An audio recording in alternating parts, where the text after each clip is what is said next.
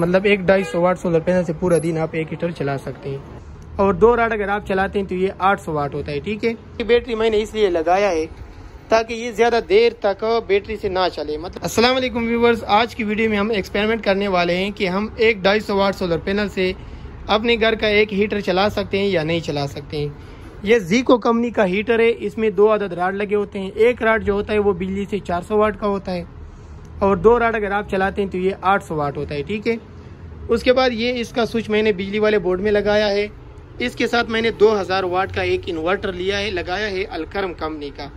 और ये एक छोटी बैटरी है। छोटी बैटरी मैंने इसलिए लगाया है ताकि ये ज़्यादा देर तक बैटरी से ना चले। मतलब ज़्यादा कुछ लोग सोचते होंगे कि यार ये तो बैटरी से आपका इन्वर्टर चल रहा है और इन्वर्टर के ज़रिए से आपका हीटर चल रहा है।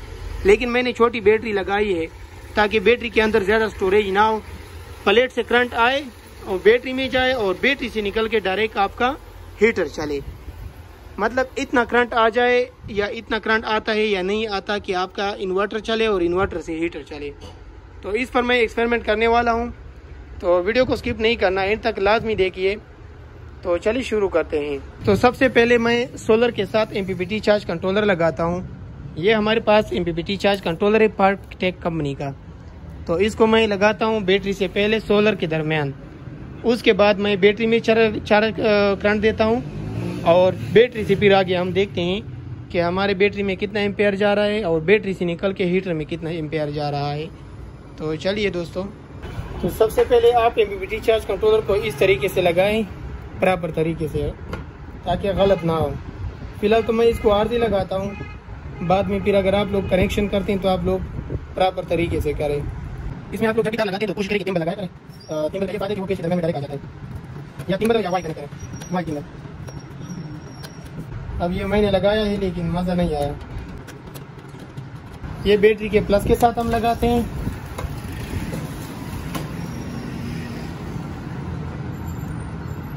और ये बैटरी के माइनस के साथ आप लोग देख सकते हैं कि इस टाइम हमारे बैटरी में जो वोल्ट है, वो 11 वोल्ट है। ठीक है? अभी मैं सोलर लगाता हूँ, ये सोलर वाला प्लस और माइनस। ये सोलर का प्लस वाला वायर है, पीवी लिखा हुआ है, और ये सोलर वाला माइनस वाला वायर है। मैं जो भी लगाऊँ, जो ही लगाऊँगा, ऊपर से हमारा एम्पियर इधर शो होगा। एम चार्ज कंट्रोलर में। अभी हमारा एम्पेयर जा रहा है बैटरी में। मैं आप लोगों को एम्पेयर भी चेक कराता हूँ। इसको लगाओ।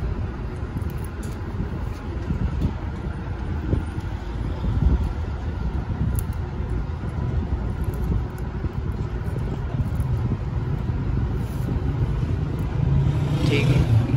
हमारा एम्पेयर इस टाइम बैटरी में दो इशारिया सात एम्पेयर जा रहा है।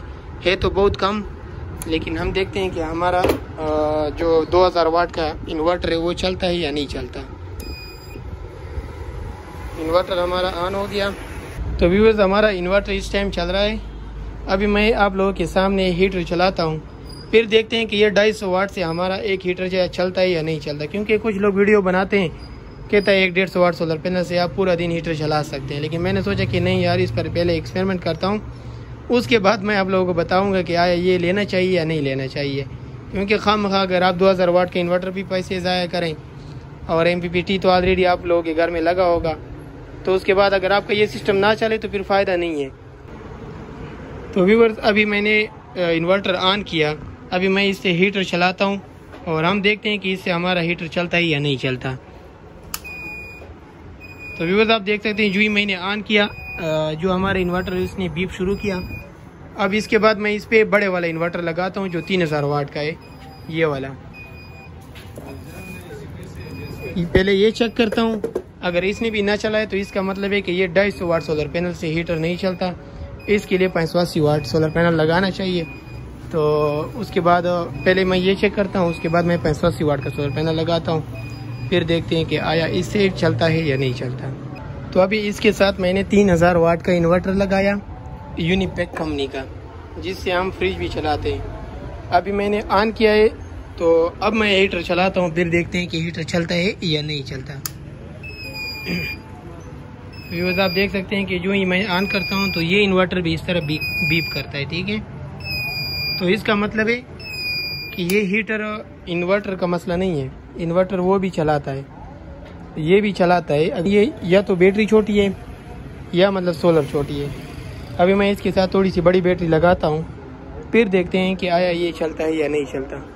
मैं तब तक इस पर तजुर्बे करूँगा जब तक ये हीटर हमारा ना चले। वीडियो में हमारे साथ जुड़े रहे, बंद नहीं करना, ठीक है? तो अभी मैंने बैटरी भी बड़ी लगाई, इन्वर्टर भी है और प्लेट वही ढाई सौ वाट वाला है। ठीक है?